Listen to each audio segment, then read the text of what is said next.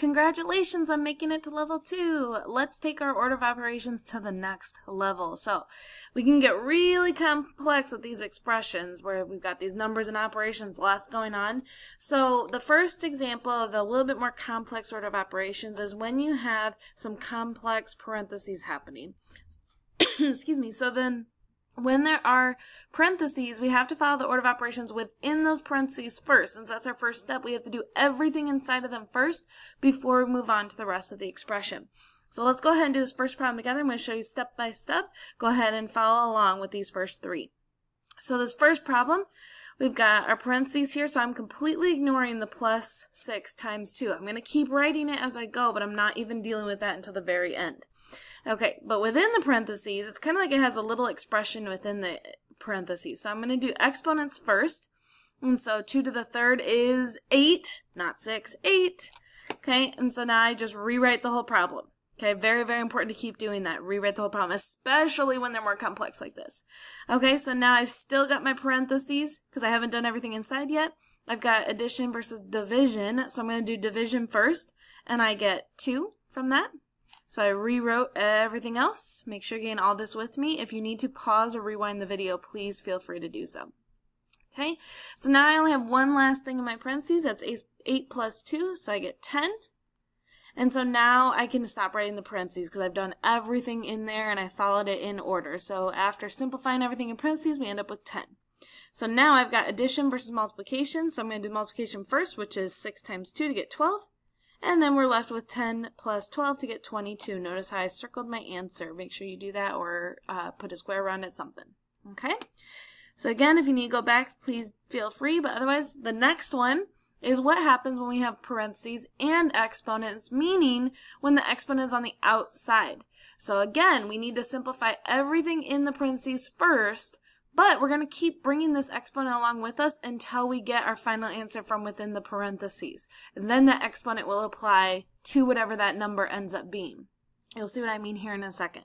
So starting with parentheses, I've got subtraction, I got multiplication. We're going to do multiplication first. So I get 6 from that. Again, notice how I just rewrote everything else, including that exponent, just bringing everything along with me. So now I have to do the 11 minus 6 to get 5. And now it's okay to not write your parentheses, but you do still need to bring that exponent right along, and it goes right with the 5. Now I can do that exponent to get 25, and then 25 plus 4, 29. Again, circling my answer. Okay? Again, please go back if needed. Don't feel like you need to move on with me if you're not ready, if you don't understand something. Okay, the last one is when we have a fraction bar. And a fraction bar, again, remember, means division.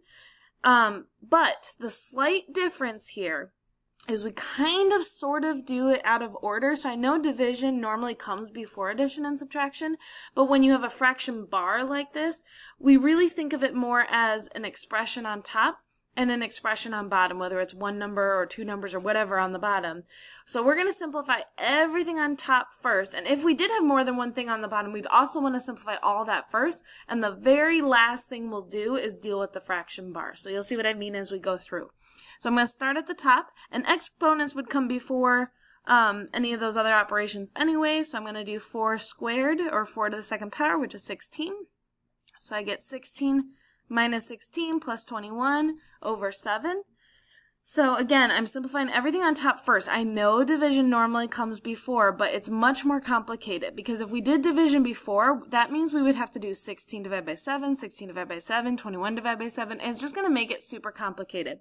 So in this particular situation, it is okay. You are doing it correctly by simplifying everything on top first. That is only for these situations. Okay, if it's just division, then you do need to divide with that, but since this is a fraction bar, that 7's applied to all the numbers on the top, and so that's why we want to simplify the top first before we deal with that 7. Okay, it doesn't really matter, it's just this is the easier way to do it, rather than doing that division in the timely manner that we normally would. Okay, it's the same thing, but we're doing it the easier way. All right, so I've got subtraction, I got addition, I'm doing it left to right, so 16 minus 16 first to get 0. 0 plus 21, I got to finish the top, very simple, gets me 21. So now I have 21 over 7, and again, remember that's like division, so 21 divided by 7 equals 3. So see how easy that was? I mean, again, I would have gotten the same answer had I done the division first. It just would have been a lot harder to do. So this made it a lot easier while still getting the correct answer.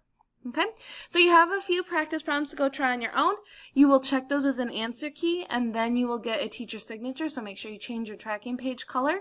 Then you just have to correct your pre-assessment, um, do an assessment reflection, and then you're ready for the summative. So really practice those skills. You've got this. This is the last new thing. So good luck. You can do it.